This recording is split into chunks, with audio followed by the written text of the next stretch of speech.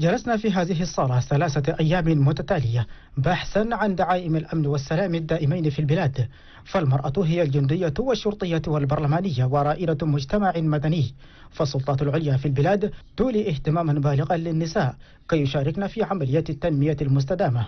وزير الدولة المكلف بالمصالحة الوطنية والحوار الشيخ ابن عمر ممثلا لرئيس الوزراء إبراهيم باتاكي البير أثنى على جهود المرأة التشادية في جميع المجالات مشيدا بإنجاح هذا المنتدى مؤكدا بأن البلاد مقبلة لتنظيم منتدى وطني شامل فللمرأة فيه مكانة خاصة. وزيرة استصلاح الأراضي السكن والتمدن أمينة إحمير ترنا ممثلة لوزيرة المرأة شكرت المشاركات في هذا المنتدى. وقالت إن مبدأ التسامح والتعايش السلمي وقبول الآخر هو السلام والأمن في حد ذاته. مطالبة الجميع التحلي بروح المحبة والوطنية. من أجل بناء تشاد أفضل.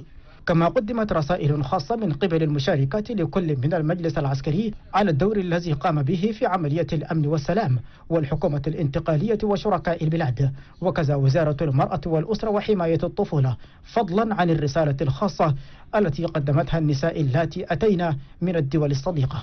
قضية الأمن والسلام جعلت الرائدات في الجيش أن يقدمن رسالة إلى الحكومات لمشاركة المرأة ضمن المناصب في الوحدات العسكرية خصوصا في اللجنة الأمنية لحوض بحيرة تشاد وقوات منطقة الساحل بتوفير المعدات اللازمة. كما طلبنا المشاركات رجال الدين وأولياء أمور الأسر إلى تعزيز التربية الروحية في وسط المجتمع التشادي لأنهما المدرستان الأساسيتان لتربية الفرد.